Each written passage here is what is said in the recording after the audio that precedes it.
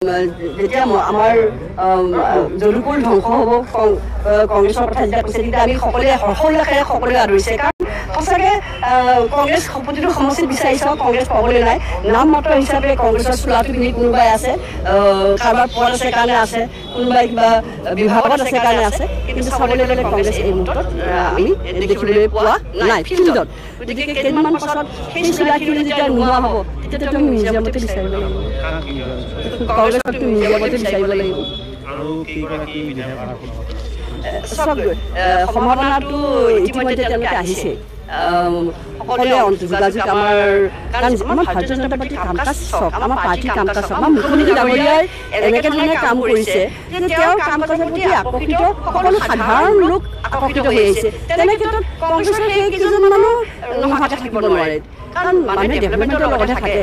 গতিকে থিয়ৰীৰ লগত কোনো নাথাকে। নহয় কংগ্ৰেছ এটা থিয়ৰী আছিল। গতিকে সেই থিয়ৰীখিনি প্ৰেক্টিকেল এপ্লিকেবল কৰিব নোৱাৰিলে নহয় আমাৰ মুখ্যমন্ত্ৰী ডাঙৰীয়াই তেখেতৰ আদৰ্শ তেখেতৰ ভিজন মিছনখিনি প্ৰেক্টিকেলি কাম কৰি দেখুৱাইছে। গতিকে মানুহে কাম কৰা মানুহৰ লগতে থাকিব। আচলতে বিৰোধী নাই কিন্তু বিৰোধী অকণমান হ'লে যুদ্ধ কৰা আমেজ আছে। এতিয়া লোকসভা নিচিনা মহাৰণ আহি আছে বিৰোধী নাই। গতিকে ইমান সহজে গৈ আছে।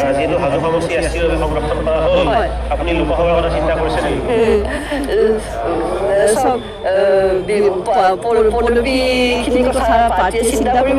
কিন্তু কাম কৰা মানুহ বহি থাকিব নোৱাৰে। কোনটো সমষ্টিত আপুনি টিকেট বিচাৰিব বুলি আমি ধৰিব পাৰোঁ? চব কাম কৰা মানুহ বহি থাকিব নোৱাৰে এতিয়াতো মই ছাব্বিছ ছাব্বিছলৈকে যিহেতু হাজো সমষ্টি এতিয়া বৰপেটা সমষ্টি লোকসভা সমষ্টিৰ অন্তৰ্গত আপুনিও প্ৰাৰ্থিত্ব প্ৰত্যাশী নেকি চব ছাব্বিছলৈকেতো মই ইয়াত ইয়াত থাকিব লাগিব কৰ্মসূত্ৰে তাৰ মাজত যিহেতু লোকসভাৰ প্ৰসংগটো আহি পৰিছে আপুনি চব লোকসভা মানুহৰ কাৰণে ইচ্ছা নাথাকে আৰু অধিককে কাম কৰাৰ আমি ক'ব পাৰোঁ নেকি যে বৰপেটা সমষ্টিৰ মানে প্ৰাৰ্থিত্ব প্ৰত্যাশী সুমন হৰিপ্ৰিয়া বুলি?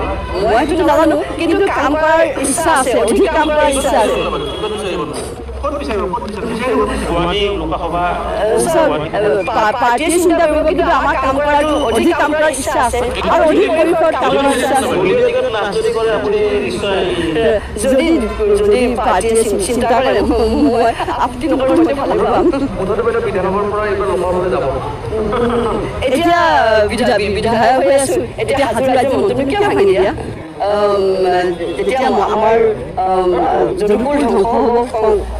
কংগ্ৰেছৰ কথা যেতিয়া কৈছে তেতিয়া আমি সকলোৱে হৰ্ষোল্লাসেৰে সকলোৱে আদৰিছে কাৰণ সঁচাকৈ আহ, কংগ্ৰেছ প্ৰতিটো সমষ্টিত বিচাৰি চাওঁ কংগ্ৰেছ পাবলৈ নাই নাম মাত্ৰ হিচাপে কংগ্ৰেছৰ চোলা পিন্ধি কোনোবাই আছে আহ, কাৰোবাৰ পদ আছে কাৰণে আছে কোনোবাই কিবা বিভাগত আছে কাৰণে আছে কিন্তু চাবলৈ গ'লে কংগ্ৰেছ এই মুহূৰ্তত আহ, আমি দেখিবলৈ পোৱা নাই ফিল্ডত গতিকে কেইদিনমান পাছত সেই চোলাখিনি যেতিয়া নোহোৱা হ'ব তেতিয়াতো আমি মিউজিয়ামতে বিচাৰিব লাগিব কাক বিধান কংগ্ৰেছক মিউজিয়ামতে বিচাৰিব লাগিব আৰু কেইগৰাকী বিধায়ক